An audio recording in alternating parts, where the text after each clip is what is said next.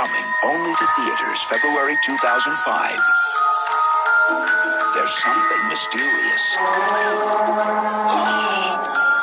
Something strange. Something different.